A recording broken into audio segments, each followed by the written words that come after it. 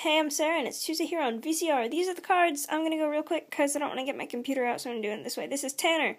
We like Tanner. He's cool. He has an evil twin. This is me. I'm a cabbage. This is Gabby. She's gay baby because she doesn't have two B's in her name. This is JJ. He is a Batman, not really. This is Alexa. She's short.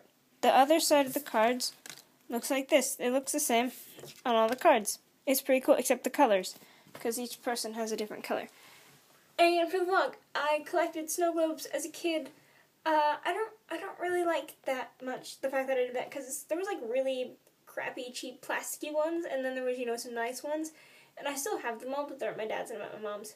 So, but yeah, snow globes. Bye.